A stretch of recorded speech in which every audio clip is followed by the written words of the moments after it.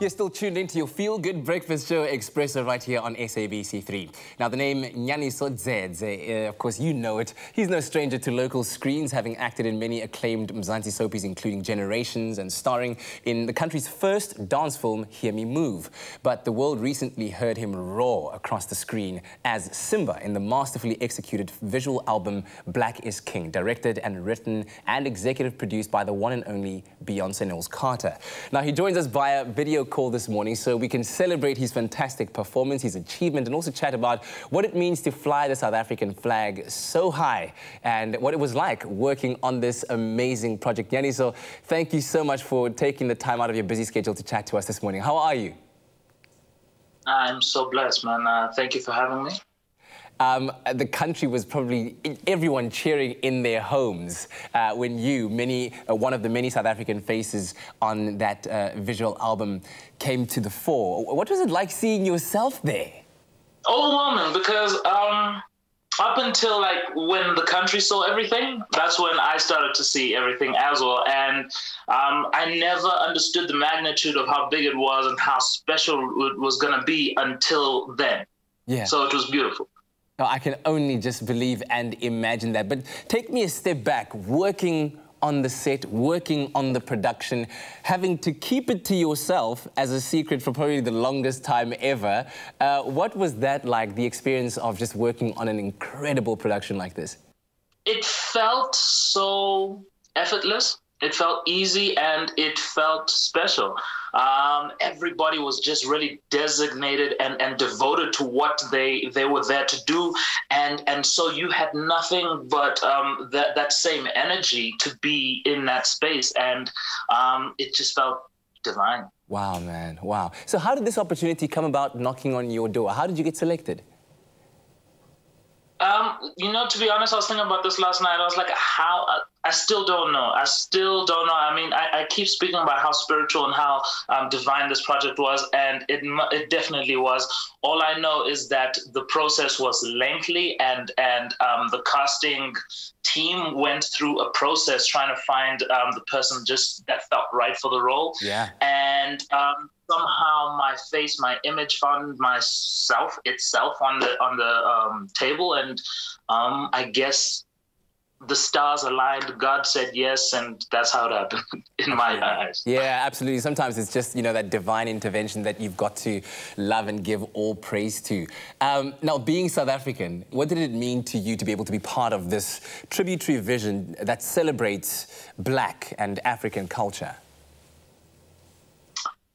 It's special, bro. Um, you know, many South Africans, many black boys and girls, children, men out there, um, we we were all um, raised under this pressure to believe that we were less, had less, had less to give, and um, our lives less valuable. And to start telling these kind of narratives is exactly what we all need to start changing that story and understanding that we have so much to give to the world as people of color. Man, hearing you speak like this, it not only puts a smile on my face, but it, it uplifts the spirit as well.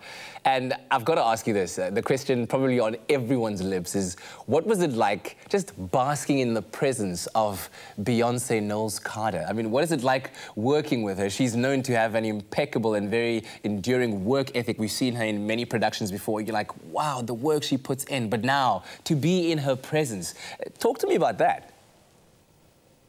You know, being in the presence of someone um, like her that's just has a clear understanding of her artistry and what it is that her artistry has to bring to the world um, brought me to the point that she understands that her work is divine and it's um, it's not only just something that she's doing because it's a passion and it's beautiful but it's her purpose. And with her art comes messages comes healing comes opportunities for all of these things and so that's why for me i was like that's why she gets involved in every aspect of her work. That's why she gives so much of herself because there is this very um, deep inherent understanding that this work that we do as artists, we are given the mantle to be healers, storytellers, narrative changes, and people that just bring about a new needed life to society, to people that are going to receive this art. And um, I could only soak up and learn and learn and learn, and it was such an honor to be um, around that space, around her, watching her just give her magic to the world. And yeah. blessed be that journey. Absolutely. Did you get a moment perhaps to interact with her? Maybe she threw a couple of notes your way. Was there a moment of connection at some point between you and Beyonce?